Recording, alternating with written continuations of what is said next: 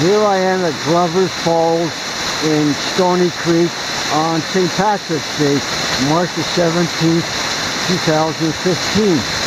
And uh, during the winter snow melt, but it appears like there is uh, still a wall of ice behind the waterfall and should be an ice cave. It's quite the overhang here.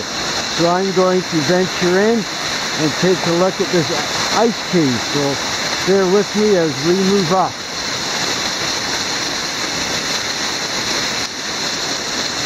There's a pathway I have to go on.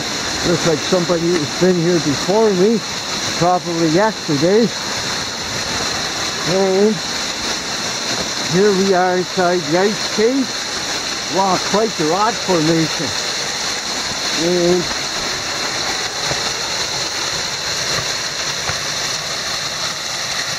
here we are. As ice is on, so I think I can venture up here. Wow. Here we are directly behind Glover's Falls and what's left of the ice cave.